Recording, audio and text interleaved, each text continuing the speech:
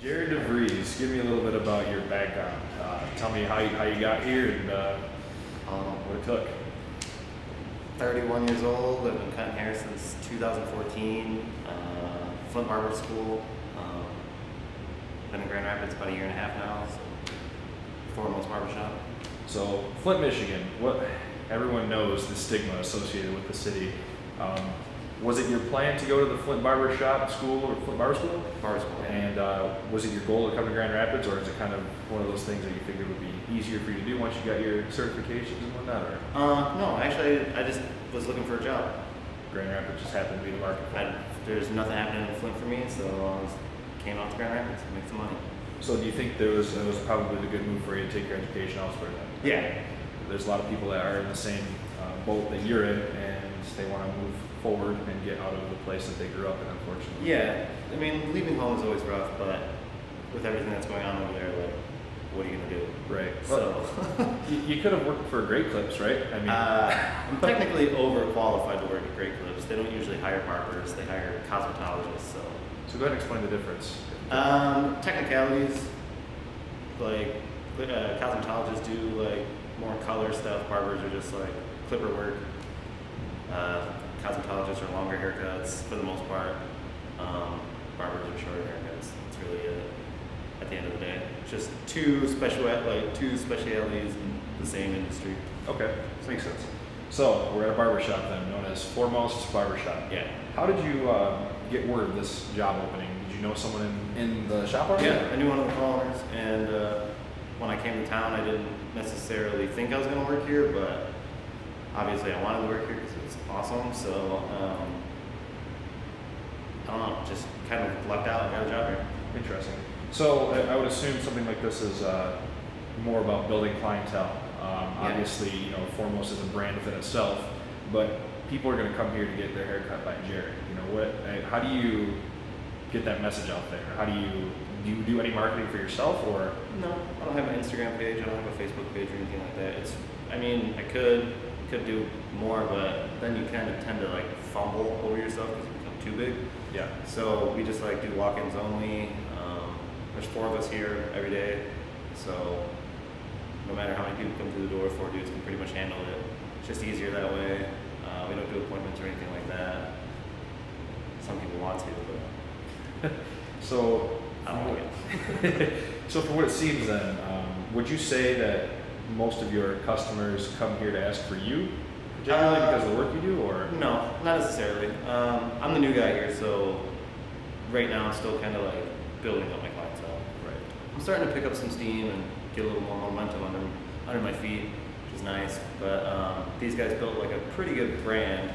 Like they got a lot of clout, I guess, in the town here. You know what I mean? A lot of people come in here, so that's why, like I said earlier, I wanted to work here because of that. So, but now I'm starting to get more people that are like comfortable with me. Right. So with that being said, um, would you ever be open to the prospect of you know starting your own shop? I mean, is that ever in the works for you? Or? Uh, probably at some point. Yeah. So any timetable on that, or you just trying to get it going now Yeah. and see what comes out of it? Because there's so many interesting things that you could do on your own versus being part of a shop. Yeah. You know, being a part of a shop gives you the opportunity to work under someone else's brand, which is really helpful for anyone Yeah. really that's in this industry. You know, Yeah. it's hard for people to get into. it. Yeah, I wouldn't just go blindly into it. I would definitely start out with somebody, somebody good, Right. Okay. So like I did. Right, right. Cool. So I guess that being said, um, you know, obviously there's going to be room for improvement no matter what you do. Yeah. I mean, no one's ever going to be perfect. Right? Right. I'm sure you, everyone's, I mean, at the base of it, everyone's hair is different. Everyone's Yeah. head is different. Have you run into a situation where um, you had a client that was upset with what you did, or they you had to try to make it right? Yeah. You, I mean, how Probably do you one a week, probably. I mean, you can't please everybody, but it's sort of your job to try. Right. Obviously, the goal and end of the haircut is to like give the the best you can do, and the best for what that person needs. Like, not everybody needs a crazy skin fade or a mohawk, you know. So you got to go with what people, what their head will allow too, and you got to like steer them in that direction sometimes. But that's just where that comes from. I'm the professional. Listen Right. to me. Listen to me. Right. So. I see some people probably have, the, uh, have an issue with taking control over someone's head. And Yeah, I mean, but most people are like, just do, you know what I mean? Just give me a normal haircut. They don't need That's, like that's what I do. clean up. I, Yeah. I, I, I get my haircut by you, so I trust what your judgment Right. is. It doesn't need to be, like I said, it doesn't need to be crazy. So you guys are unique in the sense that uh, you don't take cash. Nope. I mean, we're in 2017. A lot of people probably don't carry cash. Right. And uh, They don't.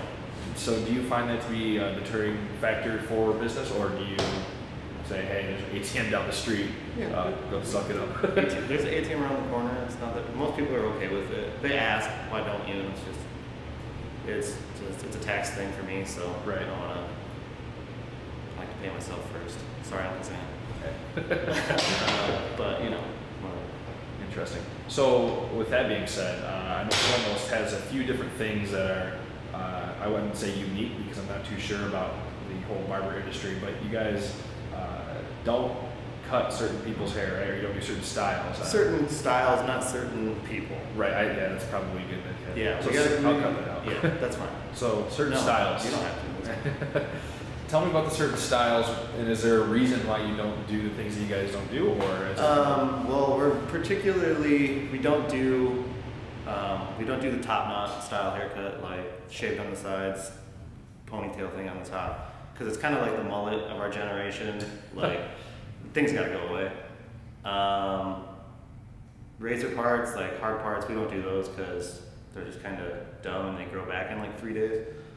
Um, they're cool for literally 45 minutes to an hour. And then um, designs, we don't do any of the artwork or anything like that just because we're terrible at it. So Right. none of us are good at it, so we don't even want to attempt it. Okay, so it's interesting to bring that up.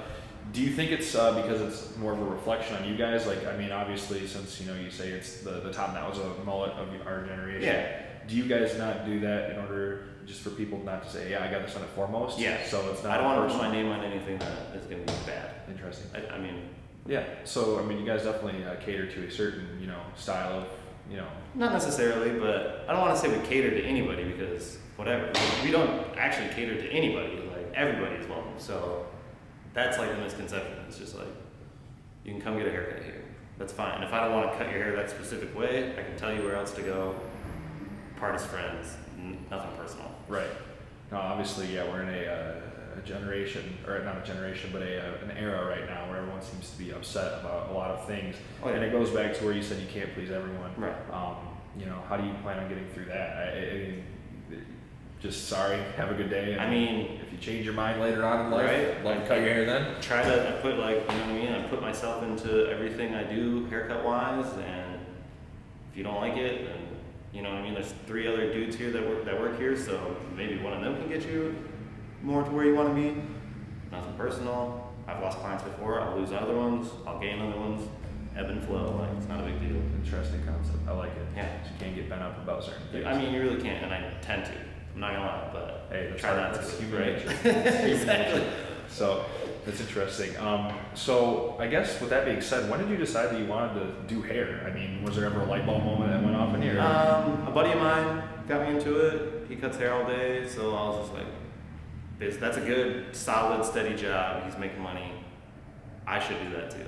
right. So tell me a little bit about your barber college experience. Does that? I mean, obviously, it's not going to cost you like a student loan would for a lot of kids. Um, Do you recommend doing trade versus? I lately, I mean, in this, what's going on with the world, I feel like we do need more nurses. Um, you know, people who can work on machines and stuff like that because that's where everything is with automotive. We need like heating and cooling specialists, uh, HVAC, whatever. It's, um, you know, not necessarily more barbers, uh, but like you know, trade schools are a, a bigger deal now than they used to be. I'm sorry, I don't really know. No, it's it. that's interesting because I, I feel like I'm, you know, with the, I guess the trend through the 2000s and late 90s was everyone needs to go to college Yeah, to get, uh, you know, certain expertise and whatever. right. When it turns out now that everyone's gone to college, I feel like we've lost the people who are good at trades. So Right. it's interesting to bring that up. And I mean, it's, it's such a unique skill to have, being able to cut hair or Yeah. being able to fix an air conditioner. Yeah, yeah, it's, There's a specialty for everything. Mhm. So interesting. So. All right, so let's talk about future aspirations of Jared. Once uh, you know, moved on, build your clientele. I mean, is there a point where you decide that you can retire, or do you just do it until you're tired of it? Because I mean, it's. Uh, I don't know. I'll probably do it until I'm tired of it. Do you have? Do you think that's gonna? Like, do, I guess the question I have is, do you want to do this for the rest of your life, or do you want to eventually move on to something else? I mean, Um, I don't know. like I'm good with it now, so I guess we'll just continue doing it until I want to do something else, and then I don't really have any training in anything else, so it'll have to be something easy. right, right. So hey, if you're, uh, you know, we talked a little bit about barbers getting old and moving to Florida. I Yeah. mean, is that in the They works? call or- that barber like barbershop or barbers retiring. They just moved to Florida. They, go, cut- they cut hair three days a week and fish the other four. Nothing wrong with that, is there? No, it's a, some would say that's the dream, but Well, it's all relative. So I guess any um, words of advice for aspiring barbers? uh, go to school. Go to a good school. Don't go to some stupid uh, Great Clips training program or something. Like go to a real barber school. Don't go to um, I cosmetology there's cosmetology schools I see all around. and I see a lot of people that go to that, but I don't know what it entails. I mean, They tend to be more expensive and you get less training. really. Yeah. So what's the average? I guess. So let's talk about Flint Barber College for a second. What was the cost to get into that? How long did that program last? Um, it was under six, and it's about a year. It's all based on your attendance, um, clock hours. So six thousand dollars Yeah. under that, and you're getting a certification. I mean, what is that? Is it a degree? I, I- don't know. I mean, I got like a diploma, but I don't even. The end, end all goal is your barber license. You know what I mean? So Like, that okay? So that's your form of Yeah. Okay. So, So for under six thousand dollars, you're walking out with, a- with a license, and you're going to be able to get a job where or wherever you want, Yeah. assuming, right? So Yeah. you can kind of pick and choose what you want to do from there. And I know that's different for a lot of kids who walk out of school with a business degree. I Right. mean, the reality of it is, is they're not making enough money to pay back their student loans Exactly. For semesters with the school, Right. Their first year working, and and it's interesting at the, the point in time that we're at with that. So it's interesting you can walk right out of college and you know get a job, which is huge for a lot of people. yeah. So. I mean, you could open your own shop the day you get your license.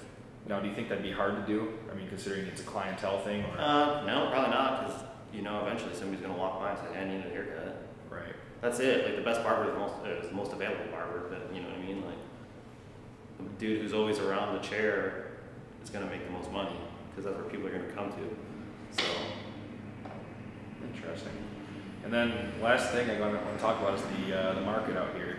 Um, you guys are, I think, more of a specific kind of barber, right? I mean, from what I gathered, I mean, it seems that you guys have a certain aura to your shop that's different from a lot of other places. yeah, Now, would you find that successful being in the market that you're in? I mean, there's, I mean, something like I would picture in Flint. I don't know if this would do as well.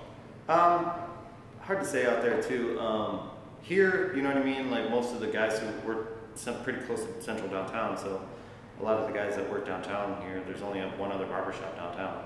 So like we get a lot of the medical students, um, just like business district guys and um, service industry people too. Like we're considered like the punk rock barbershop, but I mean we're just four guys Just snipping hair and snipping hair. there you go.